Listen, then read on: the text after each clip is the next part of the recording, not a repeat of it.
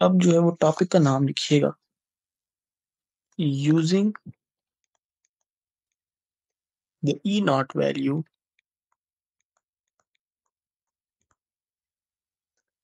to predict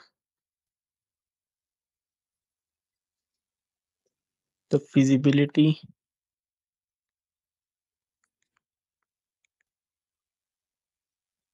of reaction.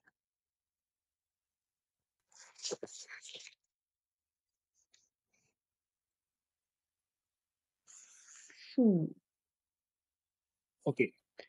देखिए अब इसमें जो है, वो सबसे पहले मैं आपको एक ये एग्ज़ाम्पल क्वेश्चन है और इसी तरह की मैं आपको दो तीन क्वेश्चन करवाऊँगा तो आपको समझ आ जाएगा कि मैं जो हूँ वो क्या कहना चाहता हूँ देखिए पहला क्वेश्चन मैं आपसे पूछना चाहता हूँ कि will copper reduce Ni nickel to positive ions in solution to nickel. ये याद रखिएगा कि बुक का क्वेश्चन है, ठीक है? मैंने बुक से उठाया। देखें, अब आपने करना ही है। तो देखें, सबसे पहले मैं यहाँ पे लिख लिख देता हूँ आपके लिए। पहला स्टेप जो है आपके पास, वो है राइट द इक्वेशन ठीक है क्वेश्चन को देख के इक्वेशन लिखो डेटा बुकलेट से देख के फिर draw the arrow on the basis of question statement ठीक है? अभी मैं इसको एक्सप्लेन करता हूँ। ये दो स्टेप्स जो है वो आपने लाजमी याद रखने तो इससे आप क्वेश्चन जो है वो हो जाएगा करना। अब देखिएगा हम इक्वेशन लिखते हैं। पहली इक्वेशन जो हमने डेटा बुकलेट से लिखी C O two positive plus two electrons C U ठीक है? अभी इसकी ई नॉट वैल्यू को इग्नोर भूल जाए। दूसरी N I two positive plus two electrons को निकल। में हो गई ठीक है? अब मुझे देखने क्वेश्चन है कि will copper reduce Na2 positive in to N I देखें। एन आई जो है वो जा रहा है किसमें? निकल तो क्या हो रही है यहाँ पे? रिडक्शन गेन ऑफ़ इलेक्ट्रॉन्स यहाँ पे कॉपर जा रहा है। सी यू टू पॉजिटिव के ऊपर तो ऑक्सीडेशन हो रही है। ठीक है। अब आप करेंगे ये, जो नेक्स्ट स्टेप ये है कि आप E cell E naught cell की वैल्यू फाइंड करेंगे।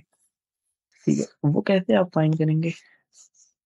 आप यहाँ पे लिखेंगे E naught cell is equals to E naught reduction minus E naught of oxidation values put करें। रिडक्शन कहाँ पे हो रही है?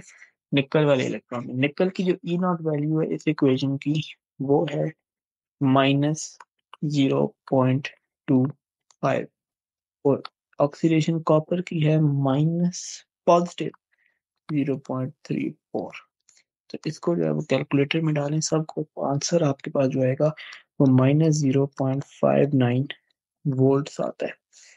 इससे हमें ये पता चलता है।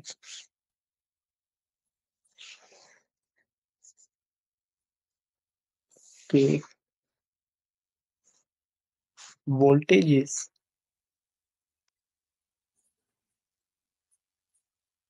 नेगेटिव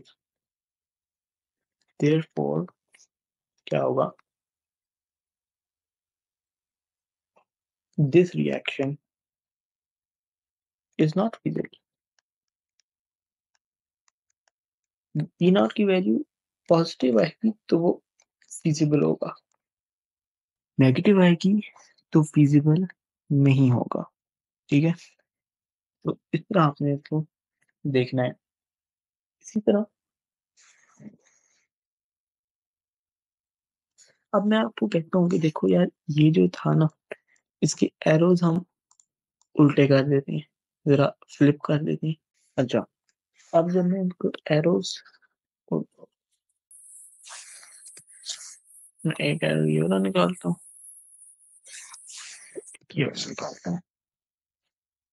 अब मैं कहता हूँ कि कॉपर जो है, वो कॉपर में जा रहा है।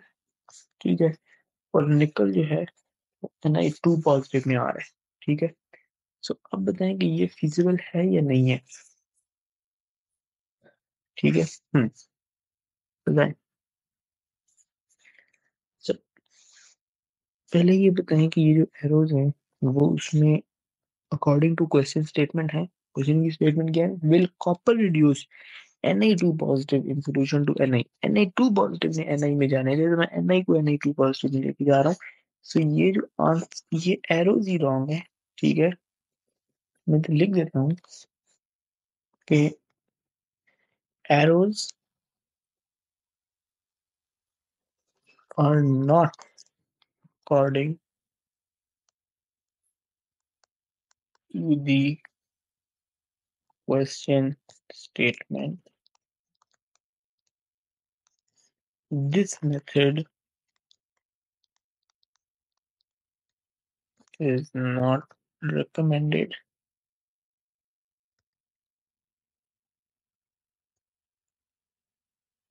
In exam,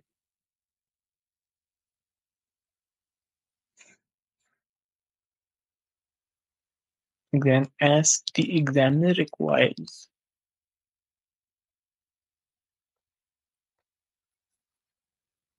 E not value. Examiner E naught value माँगता एरोज नहीं माँगता उसका आपने सॉल्व करके बताना है। तो ये जो है, ये फिजिबल ही नहीं है। क्योंकि ये क्वेश्चन एरो के क्वेश्चन स्टेटमेंट के अकॉर्डिंग एरोज ही नहीं है। और रूल तो यही है कि आपने क्वेश्चन स्टेटमेंट के मुताबिक एरोज आपने बनाने बहरहाल ये एक एक्स्ट्रा चीज़ थी जो सिर्फ़ मैं आपको एक पॉइंट अपना एक्सप्लेन करने के लिए मैंने बताया था। तो अब जो है वो हम अगला एक और एग्जांपल देखते हैं। एक और मैं आपको इक्वेशन लिख के दिखाता हूँ कि is this reaction feasible?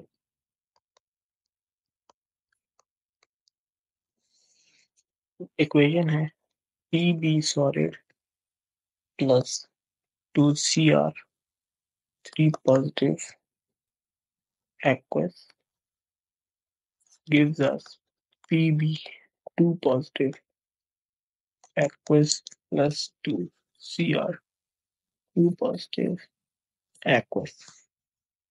अच्छा अब इसमें हम क्या करेंगे? देखें, बेटा देखो, इसमें एक ही इक्वेशन है, लेकिन इसमें दो डिफरेंट स्पीशीज हैं ब्लड है और क्रोमियम है, ठीक है? तो अब इसकी आप सबसे पहले हाफ़ इक्वेशंस लिख देंगे, ठीक है? हाफ़ इक्वेशन क्या होगी? देखो पी बी सॉलिड तो सॉलिड शॉलिड ना भी लिखो तो कुछ नहीं पड़ा दो इलेक्ट्रॉन गेन करता है और पी भी बना देता है। ठीक है? उसके बाद जो दूसरी क्वेश्चन है C R three positive plus एक इलेक्ट्रॉन गेन करता है और सी आर टू पॉजिटिव बना देता है। इसकी जो ई नॉट की वैल्यू है, वो है zero minus zero point one three volt इसकी जो ई नॉट की वैल्यू है minus zero point four one volt ठीक है? अब इसकी आप जो है, वो मुझे ई नॉट सेल की वैल्यू निकाल के दिखाएँ कि ये फिजिबल होगी या नहीं। देखो E naught cell is equals to E naught reduction minus E naught oxidation chromium three positive gain of electron reduction हो रही है ये जो है, ये ऑक्सीडेशन हो रही है बिल्कुल हो रही है तो इसकी लिखिएगा रिडक्शन की क्या है minus zero point four one minus oxidation minus 0.13. So the answer is minus 0.28 volts. तो बताओ कि यार ये रिएक्शन फिजिबल है या नहीं है? So yes this reaction is not feasible as voltage is negative